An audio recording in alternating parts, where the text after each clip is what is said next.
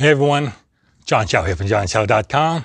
And uh, I want to use this video to show you a little interesting feature on my Tesla Model X. You see, the Tesla has the ability to link with my Google Calendar. And I just have an appointment I'm going to right now. It's a 10 a.m. appointment. So we're going to head to the car and I'm going to show you how this integration works. So as I approach, come up to the car, the door opens away automatically. I get into the car and you will see that, see, my Google appointment today, Quest Diagnostic Appointment, 10 a.m. So not only does it show up on the screen, but check this out. Once I turn it off, look at that.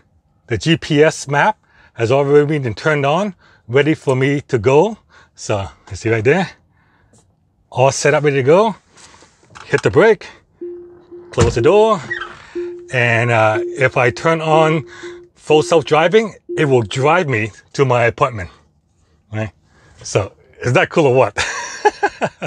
All right, so there you go. That's what I want to show you today.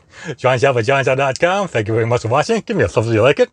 Uh, like, share my videos, subscribe to my channel, and I'll see you guys next time.